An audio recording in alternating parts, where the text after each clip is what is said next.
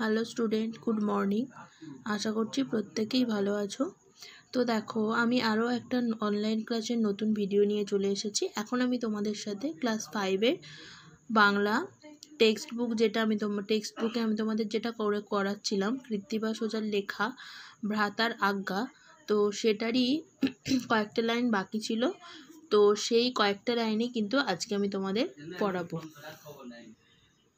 তো আমরা যতদূর পড়েছিলাম সেটা হচ্ছে কি, না ভরত রামচন্দ্রকে কোথায় আনতে গেছে? না, রামচন্দ্র পিতার আজ্ঞা পালনের জন্য, চোদ্দ বছরের জন্য বনবাসে এসেছিলেন কোথায়? না, চিত্রকূট পর্বতে। তো সেই পর্বতেই কিন্তু ভরত রামকে আনতে গেছেন। এবং তাদের নিজেদের মধ্যে কিন্তু কিছু কথোপকথন চলছে। ভরত রামকে কিন্তু ফিরে যেতে, অর্থাৎ তার নিজের রাজ্য অযোধ্যায় কিন্তু ফিরে যেতে কিন্তু অনুরোধ করছে। তো এই পর্যন্তই পড়া হয়েছিল। তারপরে দেখো কি বলছে। মিথ্যা অনুযোগ কেন করো বিমাতায়? বনে আইলাম আমি পিতার আজ্ঞায়। মানে রাম বলছেন শ্রীরাম বলছেন যে, কেন মিথ্যা অনুযোগ করছ? মানে অভিযোগ করছ? বিমাতায় মানে হচ্ছে সৎ মাতা। রামের রামের তো তিনটে মা ছিল। ধরো একটা হচ্ছে আসল মা, আর দুটো সৎ মা ছিল। তো সেটাই বলছে যে, মিথ্যা অনুযোগ কেন করো বিমাতায়? মানে মিথ্যে করে কেন সৎ মায়ের নামে বলছো? বনে আইলাম আমি পিতার আজ্ঞায়। মানে বনে কার কার আজ্ঞা পালন করতে এসেছিল? পিতা। মানে বাবার আজ্ঞা পালন করতেই কিন্তু এসেছিল রাম। চতুর্দশ বৎসর পালিয়া পিতৃ, পিতৃবাক্য। চতুর্দশ মানে হচ্ছে চোদ্দ বছর। চোদ্দ বছর পালিয়া পিতৃবাক্য। মানে পিতা অর্থাৎ বাবা যেই, বাবা মানে বাবার আজ্ঞায় যে বন, বনবাসে এসেছিলেন সেটা কত বছরের জন্য? এই যে চতুর্দশ বছর মানে হচ্ছে চোদ্দ বছরের জন্য। অযোধ্যা যাইব আমি দেখিয়া প্রত্যক্ষ। তোমাতে আমাতে নাহি করি অন্য ভাব, তোমার রাজত্বে ভাবি মোর রাজ্য লাভ। মানে শ্রীরাম কিন্তু ভরতকে বলছে যে, তুমি আমি তো আলাদা নয়, তাই তোমার রাজত্বে মানে তুমি যদি রাজ্য লাভ করো, সেটাই হচ্ছে আমার রাজ্য লাভ। যাও ভাই ভরত তরিত অযোধ্যায়, মন্ত্রীগণ লয়ে রাজ্য করহ তথায়। মানে শ্রীরাম তার ভাই ভরতকে বলছে যে এখনই অযোধ্যায় ফিরে যাও এবং মন্ত্রীদের নিয়ে তুমি রাজ্য পালন করো। সিংহাসন শূন্য আছে, ভয় করি মনে। কোনো শত্রু আপদ ঘটাবে কোনো ক্ষণে। মানে হচ্ছে কি, যেহেতু ভরত সিংহাসনে বসতেন, তো সেই ভরতই কিন্তু রামকে ফিরিয়ে নিয়ে নিয়ে যাওয়ার জন্য কি করেছিলেন না বনে চলে এসেছিলেন। তো সেই জন্য সিংহাসন কিন্তু তখন ছিল শূন্য। মানে সিংহাসনে কিন্তু কোনো রাজা বসেছিলেন না। তো সেই জন্যই কিন্তু বলছে যে, সিংহাসন শূন্য আছে, ভয় করি মনে। কোনো শত্রু আপদ ঘটাবে কোনো ক্ষণে। মানে কোনো শত্রু এসে হয়তো সেই সিংহাসন কিন্তু লাভ করে নিতে পারে বা অযোধ্যা কিন্তু জয় করে নিতে পারে।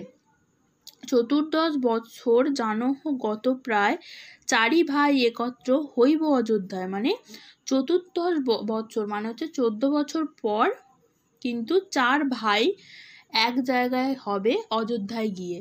তার আগে কিন্তু রাম সেখানে ফিরে যাবেন না। কারণ কি? না, তার পিতৃ আজ্ঞা পালনের জন্য তাকে কিন্তু চোদ্দ বছরে কিন্তু কোথায় থাকতে হবে? না, বনবাসে থাকতে হবে। তাহলে আরেকবার বলে দিই যে এখানে কি বলছে না, মিথ্যা অনুযোগ কেন করো বিমাতায়? মানে রামচন্দ্র কিন্তু রামচন্দ্র কিন্তু, রামচন্দ্রের মায়ের মায়ের বুদ্ধিতেই কিন্তু রাজা দশরথ কিন্তু রামকে কি করেছিলেন না বনবাসে পাঠিয়েছিলেন?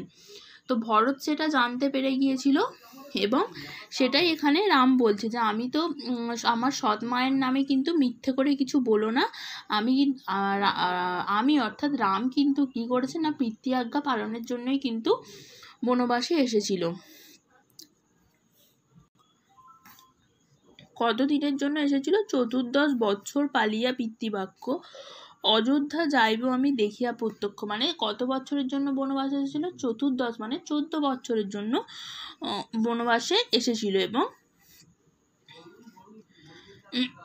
তারপরেই কিন্তু সে অযোধ্যায় ফিরবে। তোমাতে আমাতে নাহি করি অন্য ভাব, তোমার রাজত্ব ভাবি মোর রাজ্য লাভ। মানে তুমি আর আমি যেহেতু আলাদা নয় সেই জন্য তোমার রাজ্য লাভ মানে কিন্তু আমারও রাজ্য লাভ। এটা কে কাকে বলছে? শ্রী রামচন্দ্র তার ভাই ভরতকে বলছে।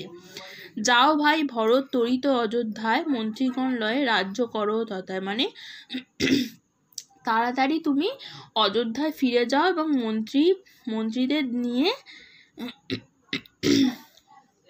মানে তরিত মানে হচ্ছে দ্রুত বা তাড়াতাড়ি। সেই জন্য বলছে যে, তাড়াতাড়ি অযোধ্যায় ফিরে যাও মন্ত্রীদের নিয়ে। সিংহাসন শূন্য আছে, ভয় করি মনে।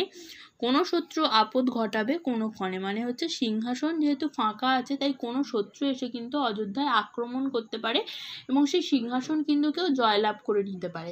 ওই জন্যই কি বলছে না তাড়াতাড়ি অযোধ্যায় ফিরে যাও, সিংহাসন কিন্তু ফাঁকা আছে, তাই যে কোনো সময় কিন্তু কোনো শত্রু এসে সেখানে কিন্তু আক্রমণ করতে পারে। চতুর্দশ বৎসর, জানহ গত প্রায় চারি ভাই একত্র হইবে অযোধ্যায় মানে চোদ্দ বছর পর কিন্তু আমরা চার ভাই অযোধ্যাতেই এক হব বা দেখা করব। ঠিক আছে, তাহলে দেখো এটা কিন্তু শেষ হয়ে গেল। আমি কিন্তু নেক্সট দিন তোমাদের কোয়েশ্চেনগুলো করিয়ে দেবো, আর আজকে কিন্তু একটু শব্দার্থগুলো তোমাদের বলে দিই, দেখো। আজ্ঞা মানে হচ্ছে আদেশ, আগের দিনই বলেছি, ভাত ভ্রাতার আজ্ঞা আজ্ঞা মানে আদেশ। শীঘ্র গতি মানে হচ্ছে দ্রুত গতি বালা মানে হচ্ছে কন্যা। পর্ণশালা মানে হচ্ছে কি? পাতার কুটির। রঘুবীর মানে হচ্ছে শ্রীরামচন্দ্র। গলবস্ত্র মানে হচ্ছে গলায় কাপড় জড়িয়ে বিনয় প্রকাশ। পর্যটন মানে হচ্ছে ভ্রমণ, এটা আমরা প্রত্যেকেই জানি। জানকী মানে হচ্ছে সীতা, নীর মানে জল, চরণ চরণ কমলে মানে হচ্ছে চরণ পদ্মে, মলিন মানে হচ্ছে অপরিষ্কার, সম্ভাষণ মানে হচ্ছে আলাপ পদাদি বন্ধন মানে হচ্ছে প্রণাম, মনোক্লেশ মানে হচ্ছে মনের দুঃখে। অযোধ্যা ভূষণ মানে হচ্ছে অযোধ্যার অলঙ্কার। সার মানে হচ্ছে শ্রেষ্ঠ, লহ মানে হচ্ছে নাও, বিমাতা মানে হচ্ছে সৎমাতা, যেটা একটু আগেই বললাম। প্রত্যক্ষ মানে হচ্ছে সরাসরি এবং তরিত মানে হচ্ছে দ্রুত। ঠিক আছে?